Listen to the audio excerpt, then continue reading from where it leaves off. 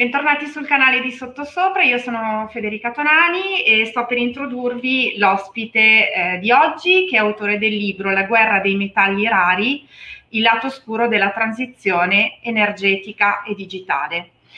Siamo particolarmente lieti di porre la vostra attenzione a questo libro poiché eh, evidenzia tre aspetti fondamentali molto importanti secondo noi. Allora, innanzitutto che la cosiddetta transizione energetica verde in realtà non è per nulla verde e capiremo perché e per quale motivo, insomma, con l'autore.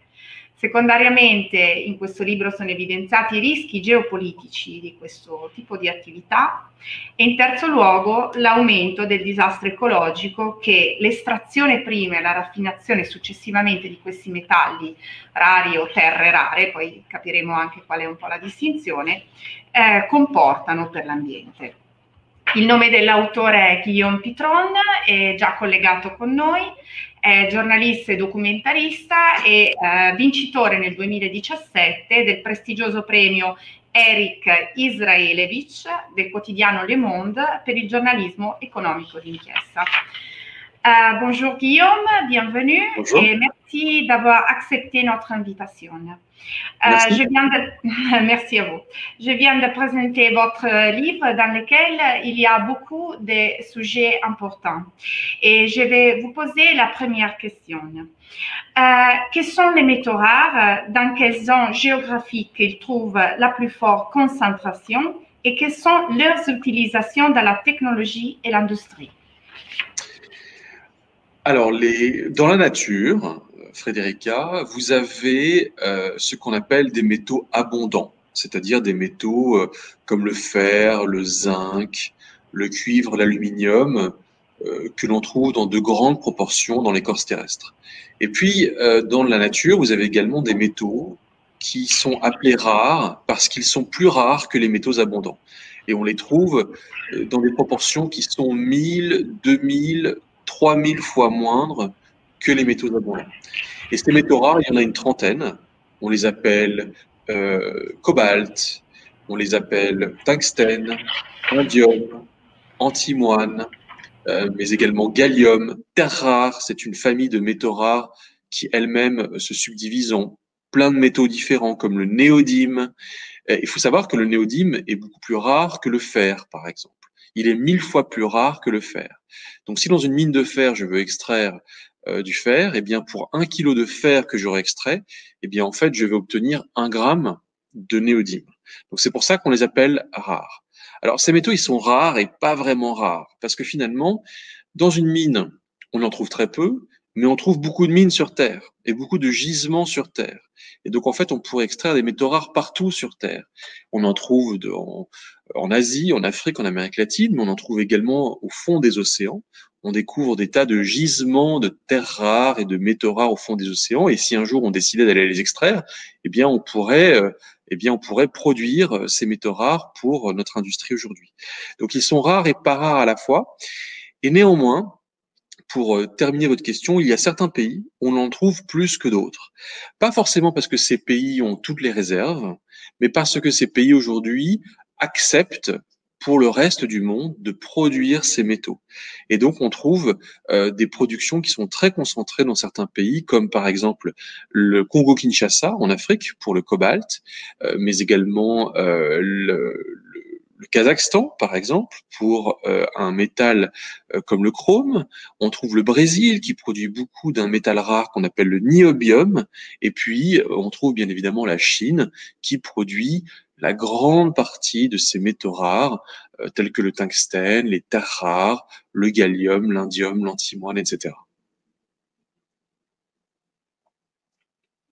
Les conséquences pour l'environnement et pour la société humaine lors de l'extraction et du raffinage ultérieur de ces métaux Alors, euh, d'abord, pour s'en rendre compte, il faut voyager. Je pense mhm. que la meilleure façon de réaliser ce qui se passe, c'est d'aller voir ce qui se passe sur place. Ouais. qu'il existe des journalistes. Ça peut être utile. Et en fait, euh, moi, en tant que journaliste, j'essaye de voir ce qui se passe. Et donc, je me suis rendu sur le terrain à plusieurs reprises, jusqu'à l'année dernière, donc, ce sont des informations récentes que j'ai pu obtenir. Et je suis allé en particulier en Chine, parce que c'est quand même en Chine, comme je vous ai dit, que l'on trouve l'essentiel, ou en tout cas une grande partie de l'extraction et du raffinage de ces métaux rares. Excusez-moi, quelle part de la Chine alors, ou, en Chine, plus précisément, euh, je voudrais vous emmener à Baotou. Baotou est une ville qui se trouve à 800 km au nord-ouest de Pékin et ça se trouve plus précisément euh, dans euh, la province autonome de Mongolie intérieure. Et pourquoi là-bas? Parce que nous sommes dans la capitale mondiale des terres rares. Comme je vous ai dit, les terres rares, c'est une classe spécifique de métaux rares, extrêmement stratégique, parce que grâce aux terres rares, on fabrique des technologies vertes, on fabrique des technologies numériques. Et donc les terres rares, euh, il faut bien comprendre que euh, c'est euh, à Baotou qu'on en extrait à peu près les trois quarts de la production mondiale. Et donc il y a des mines qui se trouvent dans la région de Baotou qui sont inaccessibles parce qu'elles sont extrêmement difficiles à, à visiter parce que c'est stratégique, c'est sensible. En revanche, on peut plus facilement avoir accès aux zones, euh, aux usines de raffinage et aux zones euh, industrielles où sont raffinées les terres rares. Et en particulier, les terres rares, pour les raffiner, il faut de l'eau. Et l'eau, elle est euh, chargée de produits chimiques extrêmement pollués après le raffinage et elle est rejetée directement dans des lacs de rejet toxiques euh, qui se trouvent à quelques kilomètres de la ville de Baotou. Et c'est là que ce lac en particulier, qu'on appelle le Huekuang Dam, qui est un immense lac, eh bien en fait est un lac à ciel ouvert un dépôt euh, sauvage de ces rejets de terres rares qui sont mélangés aux eaux. Et là-bas, c'est objectivement une vision apocalyptique, ah. avec des gens autour qui vous parlent de cancer, parce qu'il y a des gens qui sont autour, qui vous parlent de cancer, qui vous parlent de maladies des eaux de ah. verre. Euh, vous avez également des des paysans là-bas qui ont été en fait déplacés parce que leurs leurs terres sont devenues infertiles et qui du coup sont comme des réfugiés finalement de ces terres rares et euh, qui euh, vous expliquent qu'ils vivent de peu de choses et combien euh, parce qu'ils n'ont plus de travail et qui vous expliquent également combien il y a des maladies autour de ces endroits-là. Donc ça c'est des choses que l'on constate sur le terrain et même une, une experte des terres rares, une experte chinoise était rare, m'avait un jour dit, euh, mais Guillaume, en fait, la Chine a sacrifié son environnement pour nourrir le reste de la planète avec des terres rares. Donc là, je ne vous parle que des terres rares, mais on pourrait tout à fait parler du chrome, euh, ou bien euh, même du lithium, qui n'est pas rare, mais qui est un métal important, ou bien du cobalt. Il y a forcément un impact environnemental qui peut être lourd dans les pays où on extrait ces métaux rares pour le reste du monde. OK. La mise en œuvre complète des technologies vertes attendues dans le monde entier d'ici 2040 comporte, euh, comme indiqué dans votre livre, un côté sombre. Dans quel sens et avec quelles implications au niveau politique, économique et social? Alors, euh, effectivement, donc il y a un côté sombre, comme on vient de le montrer, parce que, en fait, quand on parle de technologies propres, en fait, ce sont des technologies qui contiennent ces métaux. Or, pour extraire ces métaux, c'est sale. Donc, il y a une part de pollution pour euh, faire des technologies dont on dit pourtant qu'elles ne sont pas polluantes. Donc, il y a un paradoxe ici qui, qui, qui doit quand même être bien compris par le grand public. Euh, et euh, en plus, naturellement, on accélère vers la transition verte ça va aller de plus en plus vite. C'est-à-dire qu'on va développer de plus en plus, on va installer de plus en plus de panneaux solaires, d'éoliennes, euh, de voitures électriques. On va faire rouler de plus en plus de voitures électriques. Mais toutes ces technologies euh, contiennent euh, toutes sortes de métaux rares ou moins rares d'ailleurs. Il n'y a pas que des métaux rares dans les, dans, les, dans les éoliennes, mais il y a aussi du cuivre, par exemple. Et le cuivre est un métal abondant, mais lui aussi, ce cuivre-là, son extraction pose problème. Donc ça a des implications environnementales, sociales euh, est forcément euh, économique euh, parce que, et, politique en fait. Et donc votre question, c'était quelles implications politiques? Alors, c'est une immense question, mais en fait, ce qu'il faut bien comprendre, c'est que nous, occidentaux, avons besoin de ces métaux rares pour notre transition. Et donc, nous sommes obligés d'aller les chercher en Chine, en ah. particulier en Chine, parce que c'est la Chine qui peut les produire à notre place. Et la Chine, elle n'a pas du tout envie de vendre ces métaux à 2 euros le kilo. Elle veut s'enrichir avec ces métaux. Et la, façon, la façon de s'enrichir pour elle, c'est de vendre non, plus, non pas le métal, mais de vendre la voiture électrique avec le métal à l'intérieur. Ce que fait la Chine, c'est qu'elle remonte la chaîne de valeur. Elle fait euh, ce qu'a fait n'importe quel pays dans l'histoire qui veut s'enrichir. Elle vend un produit transformé avec de la valeur ajoutée à l'intérieur. Et si elle vend la voiture électrique, et si elle vend le panneau solaire, et si elle vend l'éolienne, et non pas seulement le métal, alors la Chine peut espérer euh, générer une balance commerciale qui lui est beaucoup plus profitable et qui nous est du coup pour nous occidentaux beaucoup plus euh, déficitaire. Et donc en fait, c'est l'implication politique. L'implication politique découle de ce, de ce, constat économique. La Chine s'enrichit avec les, les, métaux rares, elle s'enrichit avec les technologies vertes qui contiennent des métaux rares. Elle ne vend plus le métal, mais le produit fini. Et nous, à l'arrivée, qu'est-ce qu'on fait? Ben, D'abord, on perd les emplois, on perd les green jobs, les emplois verts euh, de la transition énergétique qui sont en train de partir vers la Chine. On les a pas tous perdus, on va en créer chez nous, mais pas autant qu'on pourrait l'espérer, puisque c'est la Chine qui en crée la majeure partie. Et puis également, ça va avoir un enjeu politique parce que où est-ce que comment est-ce qu'on négocie avec la Chine aujourd'hui? La Chine est, un, est une grande puissance euh, qui va redevenir la première puissance mondiale. Euh, c'est un pays qui a d'immenses ambitions géopolitiques, et nous occidentaux voulons mieux peser face à la Chine dans euh, les relations diplomatiques internationales. Mais comment peser si nous avons un pays qui tient l'essentiel de la production de matières premières qui sont stratégiques Si on a un pays qui tient le pétrole du XXIe siècle, comme sont souvent surnommés les métaux rares. Et donc ça crée, ça participe de créer un déséquilibre entre ah oui. la Chine et le reste du monde, puisque mm -hmm. la Chine peut nous vendre ces métaux rares avec finalement et, et, engranger un pouvoir, une influence diplomatique décuplée à l'échelle internationale. Ok. Euh, en fait, euh, vous dites que la Chine euh, apparaît comme le premier producteur de minéraux de la planète, mais c'est aussi le premier consommateur aussi.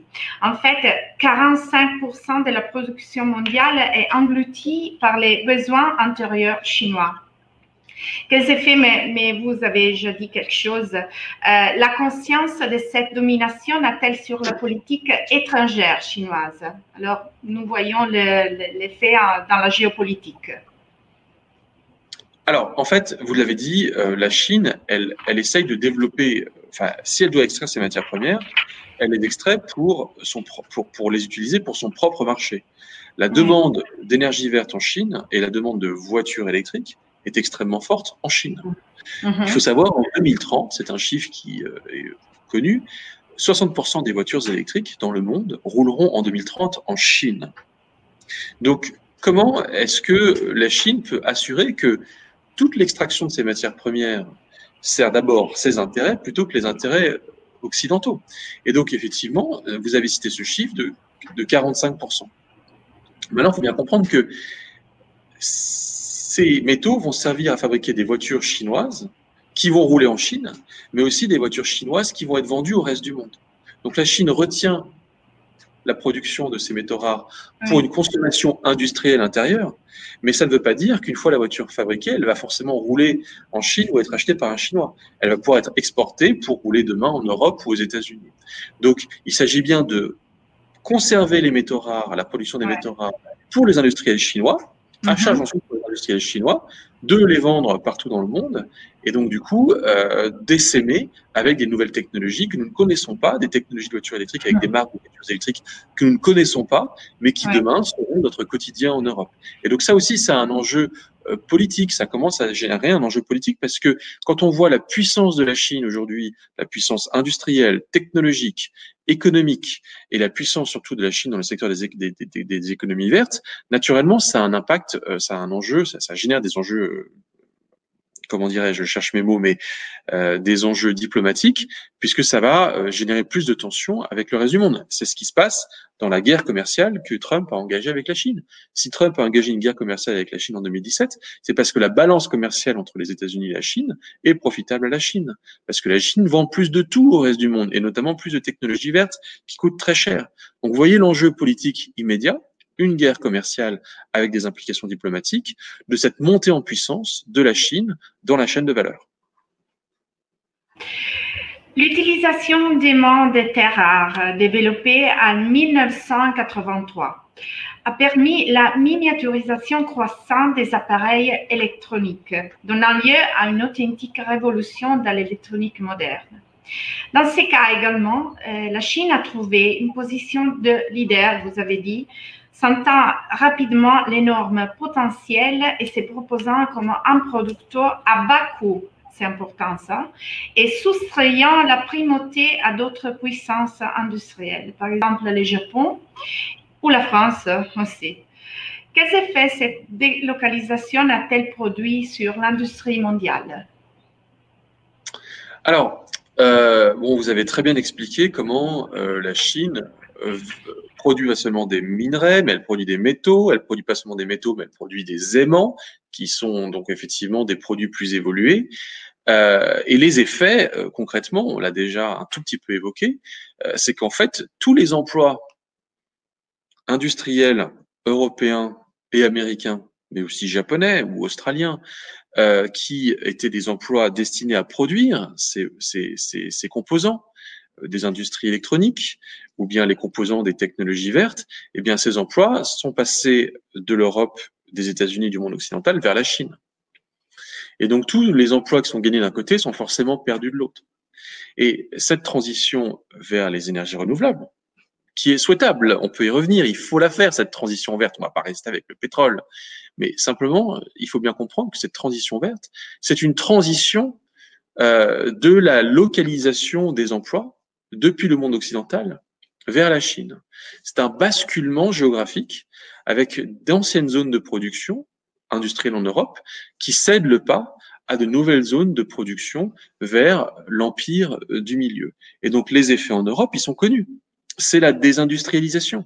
Et nous avons, nous avons désindustrialisé nos économies. Nos économies se sont désindustrialisées pour des tas de raisons.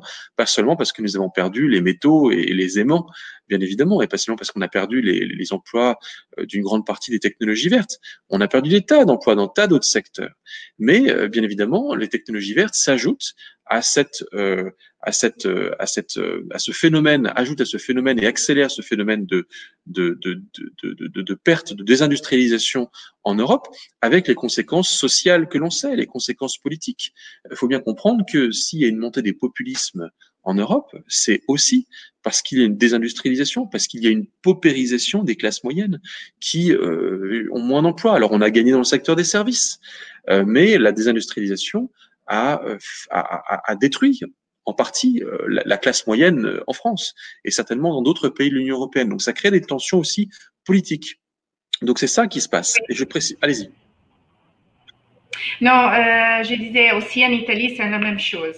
C'est le problème en France, en Italie, mais je crois partout l'Europe, je crois.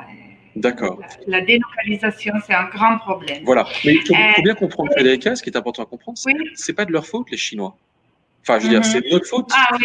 C'est nous qui avons accéléré cette désindustrialisation parce que nous voulions aller davantage vers les services et nous voulions euh, désindustrialiser. Pourquoi? Pour ne pas polluer, parce que l'industrie, c'est polluante. Et nous, en Europe, ces 30, 40 dernières années, et ça vaut pour d'autres pays du monde occidental, nous avons voulu nous débarrasser de ce qui est polluant. Et nous avons voulu nous enrichir tout en étant moins pollués. Et donc, en fait, nous avons délocalisé nos industries polluantes vers d'autres pays qui étaient trop contents de les d'accepter nos, nos, industries polluantes parce que eux avaient besoin de s'enrichir et peu importe le coût environnemental. Donc, faut bien comprendre que les Chinois n'ont fait que profiter d'un jeu économique, de règles économiques que nous-mêmes occidentaux, occidentaux voulions voir euh, euh, se développer. Donc, nous sommes responsables de ce qui se passe. Absolument. D'accord. Euh, dernière question. De toutes les recherches complexes que vous avez effectuées et pour l'exhaustivité desquelles nous adressons nos compliments, quels éléments vous ont, euh, je vous en prie, quels éléments vous ont le plus frappé et quels scénarios pourraient, à votre avis, émerger d'un point de vue géopolitique, économique et social au niveau mondial? Alors, Première question, qu'est-ce qui m'a le plus étonné euh, dans ce que j'ai vu? Moi, je, vous raconte juste un, exemple, mais qui vient finalement confirmer euh, et, euh, et, et illustrer tout ce qu'on s'est dit.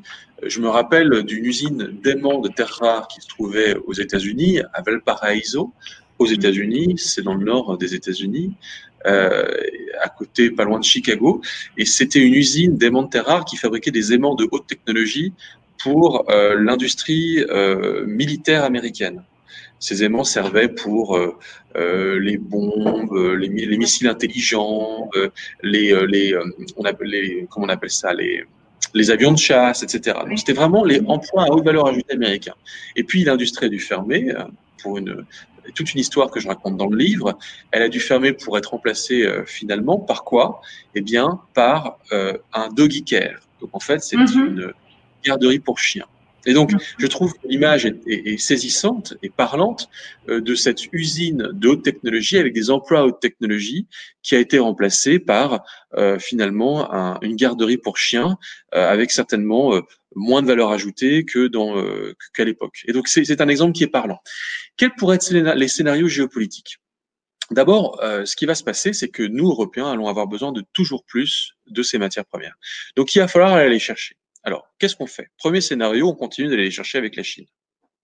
On continue de dépendre de la Chine et d'espérer que la Chine nous donne quelques-uns de ces métaux. Et dans ce cas-là, nous nous soumettons à un jeu chinois qui va renforcer la position de la Chine, position économique et politique, et qui va nous nous affaiblir Européens. Donc c'est pas une solution. Deuxième solution, deuxième scénario, on va chercher ces métaux ailleurs.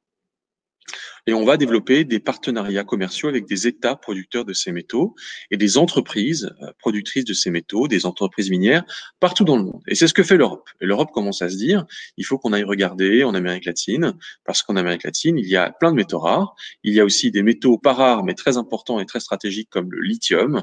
Et euh, le lithium, on en a besoin pour les batteries des voitures électriques. Donc, comment est-ce qu'on développe cette, euh, ces partenariats. Donc ça veut dire qu'il y a une nouvelle géopolitique. Ça veut dire que nous allons, euh, eh bien peut-être nous rapprocher de certains pays comme euh, la Bolivie, le Chili, l'Argentine, euh, l'Indonésie, la Guinée équatoriale, l'Afrique du Sud, le Kazakhstan, la Turquie, qui sont des pays qui peuvent nous fournir ces matières premières. Donc, quels seront les équilibres géopolitiques dans un monde post-pétrole, ou en tout cas dans un monde où il y aura moins besoin de pétrole, où la part de l'influence du Moyen-Orient sera forcément affaiblie parce que nous aurons moins besoin de pétrole, mais plus besoin de ces métaux pour faire les technologies vertes. Donc il y a une géopolitique des énergies vertes une géopolitique des énergies vertes qui va se cristalliser. Et puis un troisième scénario qui pourrait se produire, c'est de produire nous-mêmes ces matières premières. De dire, mais puisque nous en avons besoin, puisque nous devons être souverains, on parle bien de souveraineté euh, euh, de nos approvisionnements sur les masques et les médicaments aujourd'hui en plein coronavirus. Et eh bien de la même façon, on va parler de souveraineté minérale, de souveraineté sur nos approvisionnements de métaux pour faire des technologies vertes. Et donc, qu'est-ce que nous allons produire sur le sol européen? Est-ce que l'Europe peut produire du lithium? Oui. Est-ce que l'Europe peut produire des terres rares, du germanium, euh, de, l'antimoine? Oui. Et donc, nous pouvons être des producteurs. Et nous voyons en fait aujourd'hui un scénario où nous allons progressivement devenir producteurs pour tout simplement être indépendant. Et c'est ce qu'on voit arriver aux États-Unis. Aux États-Unis, l'administration Trump dit il faut que nous produisions des terres rares, il faut que nous produisions, il faut que nous fabriquions des usines pour raffiner les terres rares et que nous refabriquions les usines pour les aimants.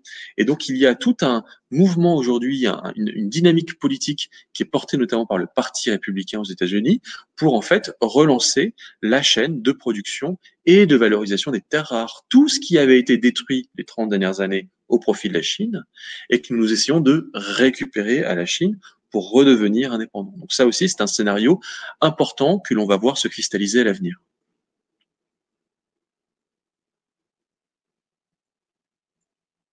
disponibilité, mais avant de vous dire au revoir, est-ce que je peux vous demander quelque chose à propos de euh, votre prochain ah. projet? Alors, d'abord, euh, il y aura un film, un documentaire ah qui va être ah, diffusé bientôt. Et c'est euh, un documentaire qui est l'adaptation du livre euh, et euh, il sera euh, visionnable sur Al Jazeera English en anglais, euh, qui s'appellera La face cachée des énergies vertes. Et je n'ai pas encore la date d'une possible diffusion en Italie, mais je sais qu'une télévision italienne est intéressée. Mais pour le moment, je ne peux pas vous en dire plus. Et sinon, oui. Uh-huh. Non, non, si c'est possible, nous sommes très intéressés. Euh, je vous dire avec plaisir. Je vous dire avec plaisir. Et, juste une autre chose, juste une autre chose, parce que c'est un deuxième projet que j'ai, euh, mais j'ai plein de projets, mais parmi tous les projets que j'ai, j'ai un projet de BD, de bande dessinée. Et en fait, c'est un ah. projet de science-fiction, c'est en train d'être fait, ça va être publié en avril en France. Et en fait, la question, en fait, on essaie d'imaginer le monde 100% vert de l'année 2043. Et donc, on se projette en 2043 et ce sera quoi un monde 100% vert? Et donc, c'est une fiction, une science-fiction, et dans lequel, en fait, ce monde 100% vert sera un monde fabuleux, avec des villes propres, des environnements qui auraient été totalement euh, nettoyés de la pollution parce que les technologies vertes génèrent moins de CO2, Mais comme vous avez compris, c'est un monde aussi qui sera très compliqué avec d'autres pollutions. Et c'est un monde où il y aura non plus des prospecteurs de pétrole, mais des chasseurs de métaux rares qui devront aller extraire les derniers grammes de métaux rares nécessaires pour permettre à notre monde d'être encore plus vert. Donc c'est une BD de science-fiction qui va être publiée en avril en France et, je suis très excité de voir le résultat final. Ah, euh, très intéressant. Alors, merci beaucoup. Et Merci. Je, vous dis, je vous dis à bientôt. Alors, euh, Avec plaisir. Oui, avec plaisir euh, pour moi aussi. Et bonne journée et merci beaucoup. Au revoir. Merci, Io. à bientôt. Saluto anche tutti voi, grazie per la vostra attenzione e vi rimando alle prossime interviste, ce ne sarà una interessantissima questa sera, sempre circa su questo argomento. Continuate a seguirci numerosi, è molto importante per noi e al prossimo appuntamento con Sottosopra. Buona giornata, au revoir Guillaume.